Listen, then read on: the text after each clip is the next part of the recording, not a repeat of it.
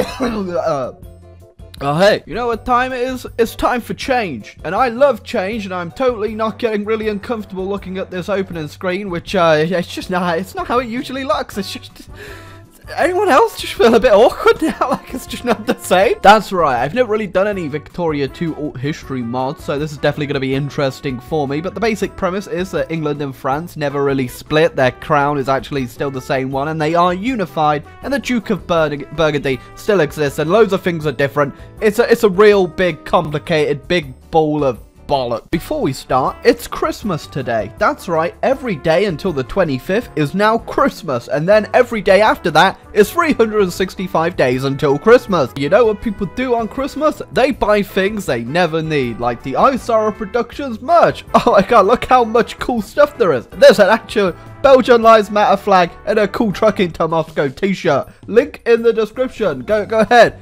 I go ask your mom for a Trucking to Moscow t-shirt for Christmas. Oh, I think I just threw up in my mouth a little bit. so as you can see, the world looks a bit more perplexing than it does usually in Victoria 2. There's a lot more nations, there are some unfamiliar nations, and most importantly, why you gotta be so big, Bohemia? That's a real big Bohemian boy right there. Basic premise is uh, that England and France are just still together. Burgundy still exists because the, the Duke Burgundy just never died. He's still the exact same Duke from back in the day. He's pretty old, he's pretty wrinkly, and honestly, it's a bit of a miracle. He's It might be Jesus. Jesus leads Burgundy. Write that in the official law books, aka the Bible too. So I've been looking around and uh, I, am not entirely sure I want to play in Europe for this. It looks pretty messy. Of course, I'm assuming we're supposed to be playing as like, I, I don't know. No one's really a colonial power. That's the thing. There's a lot of like land we can go ahead and just start eating up because for whatever reason, no one really went west into uh, like the New World. No one really went east into India this time around. So there's a, there's a lot of possibilities we can do, and I feel like we've definitely got to play as more of a emerging power. But not you. Never. Ever are we playing you? It's the last thing you see before death. A Belgian North America. Wait, the west coast of America is owned by the Chinku. I'm gonna go ahead and assume they're they're from China. Or is that is that racist? I've been looking around this map for like five minutes now. There's so many interesting choices, but I think we're going to settle for Japan. Uh, I, I, don't know why Japan's already Western, but hey, that just means we got some tentacles early. There you go, some more lore for you if you guys really want to fall asleep. But basically, Jesus came back, took over the Duke of Burgundy, or was the Duke of Burgundy the whole time. The devil was probably French, and that's why the English came in and just saved them and burnt them on the cross, or the English are actually French in this scenario. Nothing makes sense. Japan's Western. Let's get some hentai. One of the interesting things of this mod is because no one really is a dominant power in Europe, there's apparently no international code, which means we actually get loads and loads of infamy reduction, which means we're gonna go a bit crazy. So we start off at war with the Koreans, and hopefully we can win this war and re-annex them before they go ahead and just break free from us, because I, I really like the idea of me just owning the world. Oh man, I get that reference. That reference is about, um, the plumber. The, the one with the red hat that goes to castles to find the princess, right?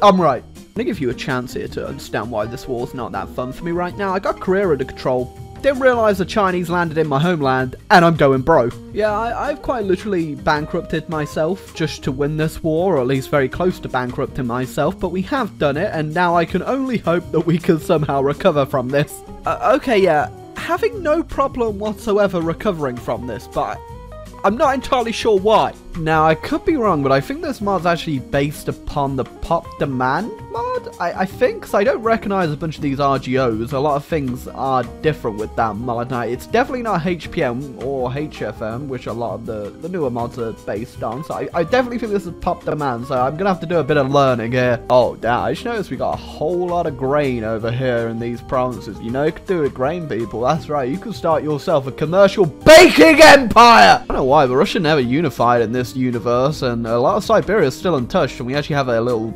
protector, a satellite? I, I, don't know who they are, but we've got these guys over here who are our, little bitch boys, which um, maybe we can annex later on and actually do some colonizing of Siberia. I, I don't actually know. I, I don't know, alright? I've never played this before. Oh, they've also added new units, which means I, I, I don't even understand. You can have mobile artillery, which is fast artillery, you have infantry, and then you have regulars. I... What is the difference? Why do they require 48 revolvers? Oh, wow, that's really cool. Neptune's been discovered by Bavaria. Hmm. The eighth planet. It's real interesting. Hold on a second. These pesky Europeans appear to be getting involved in my Asian affairs, which uh, I'm gonna have to put a stop to. Oh my god. I, I got even more infamy reduction. Yeah, China's pretty confusing. So this says that Ming now resides in Taiwan, and I'm going to attack them for 10 infamy, which is literally nothing because I'm losing so much, and I'm already at war with Brunei at the same time, so I'm just eating up land everywhere I can. I probably should have read up on the lore exactly why China is just so messed up, but I, I just kind of like the mystery of it. Well, there's one China dealt with, and we got a nice bit of the Philippines too, which is um cool, I suppose. Gonna go take myself a nice slice of Malacca as well while I'm down here. Oh, hold on a second. I've actually been declared war on by the Chinese. Yeah, I didn't go too well for them. A little bit of turmoil in the dual monarchy there. I guess it can't all be easy breezy smooth sailing, but uh, I don't know if this means they're going to break up or not, but just in general, like Europe's pr pretty messed up. Somehow the Italians have actually managed to form though. Of all people, they're doing well. Okay, it's one of those mobs where they just really suck off Macedonia. Just call it Greece! Oh, we actually did manage to annex our Ainu Protectorate, but I did realise as soon as I took that Chinese land that my um, my literacy rate goes down every time I take provinces, which um, is not good. Oh, Lord, he coming! Yeah, I'm not gonna lie, I'm pretty impressed with that huge Bohemia right now. I didn't realize I didn't even bother to look at Australia and I actually come down here and I, I can actually colonize it, which is pretty interesting because apparently no one bothered. Yeah, I can also go ahead and just enslave the Kiwis while we're at it because I'm assuming no one else is actually gonna bother do this. Oh, and the Native Americans have formed a, a massive nation. Okay. I, I, I, I created communism. Okay, let's just get it over with. Oh, would you look at that? It's my top 10 anime crossovers. It's Manchukuo. Really? I just had a communist revolt all the way up here in Siberia. That's the whole population. Much I love China's declaring war on me and I get loads of land off them. None of them can read. You're really ruining my whole nation because you can't read. Every time I try to like stop taking land from China, it just gets so much easier to do it. It's, it's 2.5 infamy for each province. How could I not do it? But it's hurting me so much. Oh, there goes like half the population's brain cells. Oh yeah, things are definitely not going great for that whole dual monarchy thing because there's now a republic and England and Ireland are semi-autonomous. They're not free, they're still satellites, but still. Oh, I can finally go ahead and play me some Super Mario Bros. And it's about time. I've been waiting. I, I, I need to go save some princesses. So overpowered? I, I don't think it's that overpowered. Actually, now I think about it, it's, it's actually very worthless land. Oh, well, uh, I got involved in a crisis and now Prussia's here, but it, uh, it's it's not very glorious Prussia that we're used to, is it? Oh, if no one else can eat Edge, how, how the hell am I not gonna? Jeez, it's right there looking pretty damn tasty. Oh, I opened uh, immigration in my country, and now everyone's leaving to go live in South Africa. Not particularly where I would have sent my Japanese people to, but sure. Uh, well, there goes Prussia. Uh, I'm not... You're... I'm not fighting. I'm not coming all the way over there to save your ass, Prussia. Oh, just when I thought the anarcho-liberals weren't going to spawn, here they are. Ah, every mod. but I am first to the North Pole. I guess that makes up for everyone leaving my country being at war with China for the 15th time and the fact my country's getting run over by Anakin. Sorry, I really, I just can't help myself.